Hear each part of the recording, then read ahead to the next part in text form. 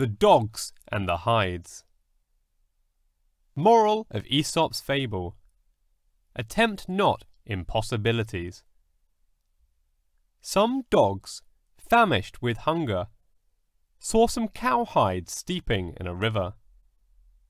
Not being able to reach them, they agreed to drink up the river, but it fell out that they burst themselves with drinking long before they reached the hides.